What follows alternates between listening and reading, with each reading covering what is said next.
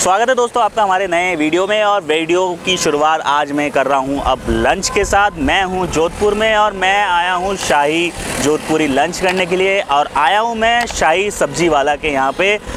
तो चलिए वीडियो की शुरुआत करते हैं। वीडियो अच्छा लगे तो बिल्कुल भी कंजूसी मत करिएगा। लाइक, शेयर, सब्सक्राइब करने में और बहुत ही यूनिक फ़ूड जोधपुरी आज मैं दिखाने वाला हूँ आपको लंच में। तो चलिए वीडियो की शुरुआत करते हैं।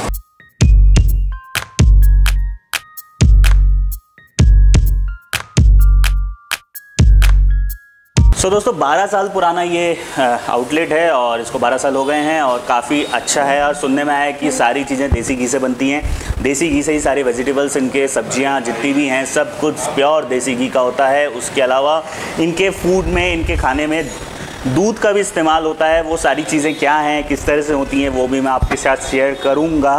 और इसके पास पास में ही है सैफरन हाउस जहाँ पे आपको डेजर्ट मिलेगा स्वीट्स मिलेंगी कचौरी मावा की कचौरियाँ ये सारी चीज़ें आपको मिलेंगी। तो फ़िलहाल हम आए हैं सब्ज़ी वालाज में आ, अपना लंच एंजॉय करने के लिए और आप तक भी आपको अपने यहाँ का लंच शेयर करने के लिए। तो चलिए चलते हैं और प्लेटिंग देखते हैं।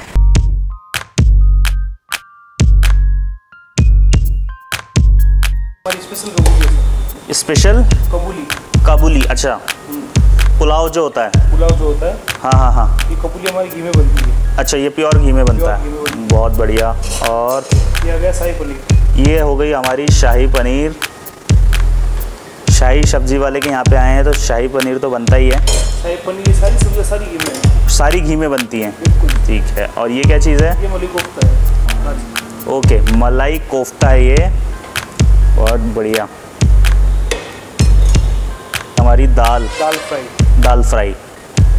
ये लहसुन की चटनी है हमारी स्पेशल जोधपुर स्टाइल लहसुन की चटनी।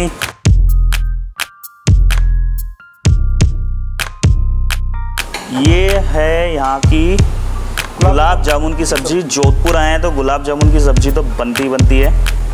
काजूदा। काजू की सब्ज़ी है बेसिकली काजू से प्रिपेयर होता है ये तो ये काजूदा कहते हैं इसको और गुलाब जामुन की सब्ज़ी और काजूदा सब्ज़ी हमने अलग से पैक अलग से ली है थाली के अलावा। बहुत बढ़िया।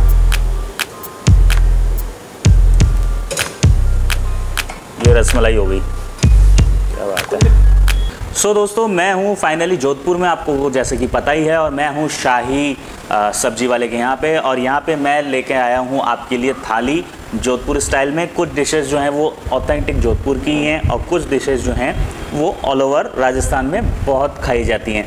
तो मैं कहाँ से शुरू करूँ? देखिए ये है हमारी काबली पुलाव और ये है पनीर की सब्ज़ी मलाई कोफ्ते और दाल तड़का और लहसन की चटनी है यहाँ पे और ये है रस मलाई यहाँ की। इसको क्या कहते थे भैया? हाँ? लस्सी। लस्सी। ये है लस्सी, दही से बनती है बेसिकली है दही, केसर वगैरह को का, ये कलर केसर की वजह से है। हाँ हाँ हाँ। तो ये लस्सी है, यहाँ की बहुत ज़्यादा फ़ेमस है, और इसके ऊपर केसर दिया हुआ है, और काफ़ी डिलीशियस होगा। उसके अलावा जो मैंने एडॉन में मंगवाया है, वो है ये गुलाब जामुन की सब्ज़ी। अगर आप जोधपुर आते हैं, और ये गुलाब जामुन की सब्ज़ी ट्राई नहीं करते हैं तो थोड़ा सा अधूरा रह जाएगा आपका टूर और उसके बाद है ये काजू की सब्ज़ी, जिसे क्या कहते हैं, इसका नाम क्या है, काजू की सब्ज़ी? काजू? काजू दा दा किशमिश। काजू दाग। ओके काजू दाग। मतलब काजू और किशमिश होता है इसमें। ओके ये तो बहुत ही शानदार चीज़ होने वाली है। और ये काफ़ी रिच होगा काफ़ी हाँ? काफ़ी हैवी होगा। प्योर घी में बना हुआ। और ये घी। ये मेवा घी है। अच्छा। Okay okay. अच्छा। तो पहले हम अपना जो है मेन कोर्स करते हैं और शुरुआत करते हैं हम अपनी रोटी से और ये है तवा रोटी। और इसको मैं जो ट्राई करूँगा, वो है इस गुलाब जामुन की सब्ज़ी के साथ, जो मैं काफ़ी टाइम से सोच रहा था इसको मैं ट्राई करने का। तो ये है जोधपुर की फ़ेमस गुलाब जामुन की सब्ज़ी। और अगर आप जोधपुर के अलावा बाहर से कहीं से आप गुलाब जामुन की सब्ज़ी खाते हैं तो वो एक अलग आपको फीलिंग देगा। और जोधपुर में आके गुलाब जामुन की सब्ज़ी खाएँगे तो वो एक आपको अलग फ्लेवर और अलग फील देगा ही देगा। तो गुलाब जामुन की सब्ज़ी। बहुत टेस्टी और सबसे अच्छी चीज़ मेरे को यहाँ पे ये लगी है, जो घी की खुशबू है, बहुत अच्छी आ रही है। चाहे वो रोटी में लगी हुई घी हो, या फिर गुलाब जामुन की सब्ज़ी जो घी में बनी हुई है। वैसे तो सारी चीज़ें, जितने भी फ़ूड हैं यहाँ पे, वो घी से ही बनता है। और उसी तरह से ये गुलाब जामुन की सब्ज़ी भी घी से बनी हुई है और टेस्ट बहुत अच्छा आ रहा है और इतन, एक चीज़ मैंने नोटिस करी कि घी की खुशबू बहुत अच्छी आ रही है। मतलब घी की खुशबू से पता चलता है कि घी की क्वालिटी बहुत अच्छी है इनकी। और गुलाब जामुन की सब्ज़ी वाकई में बहुत टेस्टी है रिच है, लेकिन तीखा नहीं है बिल्कुल भी। हम्म। उसके बाद ये काजू इसकी भी सब्ज़ी जो है टेस्ट करते हैं। ये है काजू की सब्ज़ी और ये मैंने काजू ले लिया है और ये ऊपर देखिए, घी पूरा जो है, लबलबाया हुआ है बिल्कुल। तो चलिए इसको भी ट्राई करते हैं।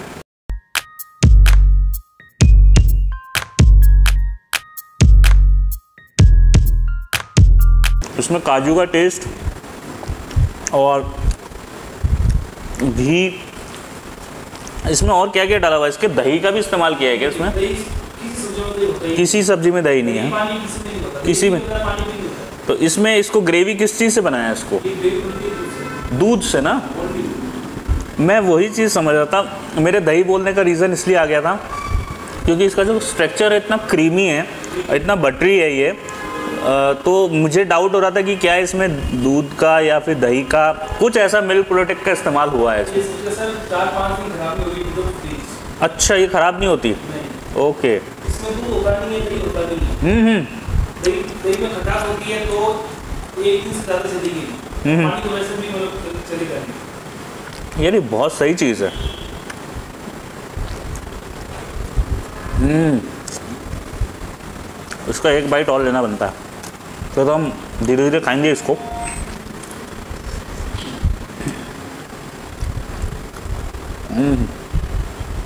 बहुत ही शानदार अब हम चलते हैं अपनी थाली पे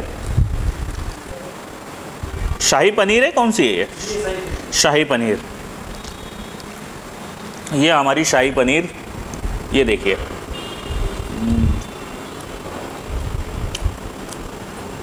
सही है शाही पनीर की सब्ज़ी भी बहुत टेस्टी है और इसमें भी वही बनाने का तरीका सेम ही है इसका। हम्म हम्म। काफ़ी टेस्टी है काफ़ी अच्छा है। और ये है फ्राई कोफ्ता। ये सर जो कोफ्ता है ना सर ये नॉर्मल कोफ्ता नहीं अच्छा। ये जो जो जैसे हम हाँ। हाँ हाँ। हाँ वो सेम चीज़ है उसको काट के उसका पनीर बनाया हुआ है हाँ हाँ। उसको छना छेना हाँ। का कोफ्ता मावे का नहीं अच्छा ये मावे का कोफ्ता नहीं है छेने का कोफ्ता ये तो हेल्थ के लिए भी अच्छा रहता है ये। हाँ, दूसरे रेस्टोरेंट में क्या होता है मावा और अरारोट। अरारोट। अरारोट पाउडर हाँ हाँ हाँ। मिक्स करके वो कोफ्ता बनाते हैं। अच्छा। ये इसमें मावा बिल्कुल नहीं है ये प्योर छन्ना है। और इसके अंदर आलू का आलू का अच्छा। जबी बहुत शानदार है यार।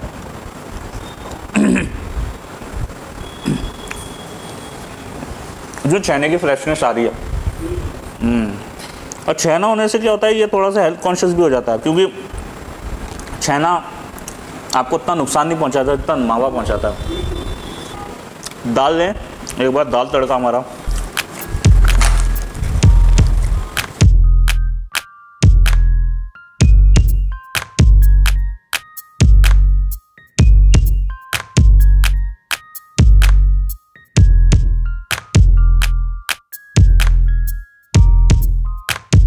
दाल काफ़ी अच्छी है आपकी।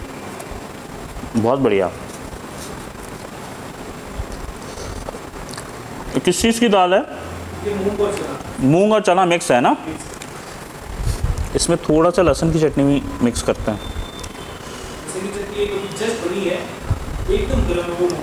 अच्छा। हम्म। बहुत बढ़िया बहुत कमाल है। आपकी लहसुन की चटनी भी बहुत अच्छी है। नो डाउट अच्छा ये गर्मा गर्म लहसुन की चटनी जो है जस्ट पंद्रह मिनट पहले बन के आई है। और मैं बोला कि इसको प्लीज़ ट्राई करिए। और खुशबू वाकई में बहुत अच्छी है। और इसको हम फ्रेश लहसुन की चटनी जो बन के आई है, वो ट्राई करेंगे। ये देखिए।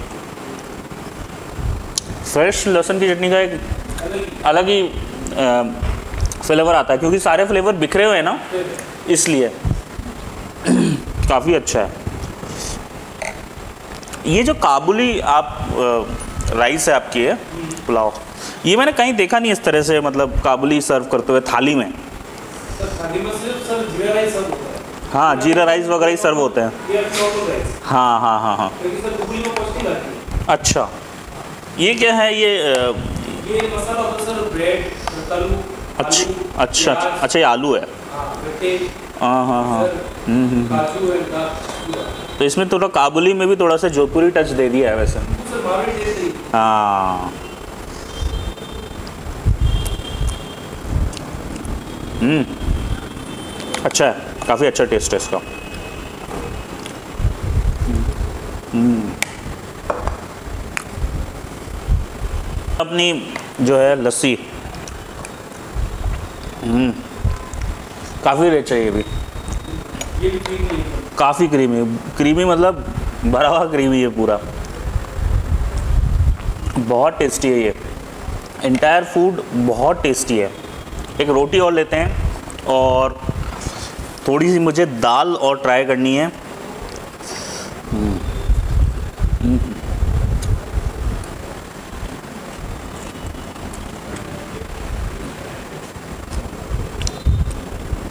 बहुत बढ़िया बहुत बढ़िया स्वाद है। सारी चीज़ें बहुत औसम है।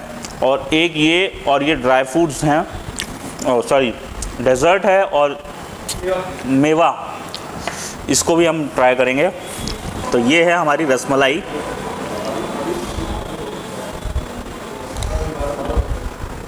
हम्म। रसमलाई बहुत प्यारी है भैया आपके। हम्म। बहुत सॉफ्ट और बहुत ही अच्छी। मेवा क्रीम है। चलिए जी। और ये जो है यहाँ का जो है सबसे फ़ेमस डेजर्ट में आता है। जो यहाँ पे जब आते हैं तो ये चीज़ ज़रूर पैक करा के लेके जाते हैं और ये चीज़ ज़रूर खाते हैं। तो ये चीज़ तो बनती बनती है आपको। आप जब भी जोधपुर आते हैं तो। हम्म। ये तो बहुत सही चीज़ है यार। खाने के बाद ये सबसे अच्छा है। हम्म।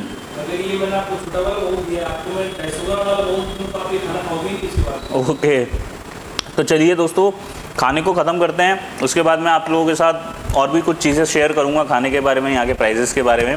तो पहले इसको फिनिश करते हैं और फिर आपके साथ मैं शेयर करता हूँ। और आप बताइएगा कि आपको भी ये खाना कैसा लगा।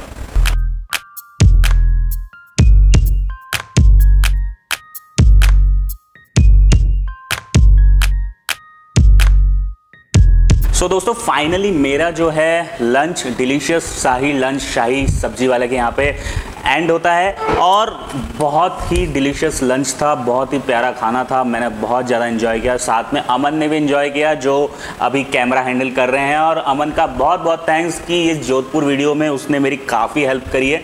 और अगर आप लोग अमन के अच्छे वीडियोस और अच्छे फीड्स देखना चाहते हैं तो इंस्टाग्राम हैंडल में जाइए और उसको फॉलो करिए। मैं आपको डिटेल्स दे दूँगा। फ़िलहाल मैंने रेट लिस्ट यहाँ पे दिखाई है। जो मैंने स्पेशल थाली ली थी, वो ली थी दो सौ में। उसके बाद जो काजू की जो सब्ज़ी थी, काजू पाक सब्ज़ी, वो थी एक सौ प्लेट अ, वैसे वो प्लेट काफ़ी बड़ा होता है ठीक है? मैंने टेस्ट के हिसाब से छोटा सा लिया था इनसे। अ, उसके बाद जो है इनके गुलाब जामुन की सब्ज़ी थी जो एक सौ प्लेट थी वो भी काफ़ी बड़ी आती है लेकिन मैंने जो है टेस्ट के हिसाब से लिया था तो छोटा लिया था। और उसके अलावा जो अ, इनका जो क्रीम था मेवा क्रीम मेवा क्रीम ढाई सौ प्लेट था तो वो भी मेरे ख्याल से ये ये क्या, ढाई सौ रुपये वाला ही था वो? वो छोटा था। तो वो छोटा था, मैंने जो लिया था, क्योंकि मैंने टेस्ट के हिसाब से लिया था तो ढाई सौ रुपये वाला जो है थोड़ा बड़ा आएगा। तो ये सारी इसकी प्राइसिंग थी। कैसा लगा आपको वीडियो, बताइएगा। जोधपुर फ़ूड आपको कैसा लग रहा है? जोधपुर का लंच आपको कैसा लगा, वो भी बताइएगा। अगर आप लोग यहाँ पे आना चाहते हैं तो डिस्क्रिप्शन में मैं यहाँ की लोकेशन दे दूँगा। आप लोग आ सकते हैं और इन्जॉय कर सकते हैं। इसी के साथ इस वीडियो को मैं यहीं ख़त्म करता हूँ। प्लीज़ कमेंट में ज़रूर बताइए कि ये वीडियो आपको कैसा लगा और यहाँ पे जो भी मैंने फ़ूड आपको शेयर किए, उनका आपका भी कोई एक्सपीरियंस है कि नहीं है। मिलते हैं किसी अगले वीडियो में, तब तक के लिए टिल देन बाय बाय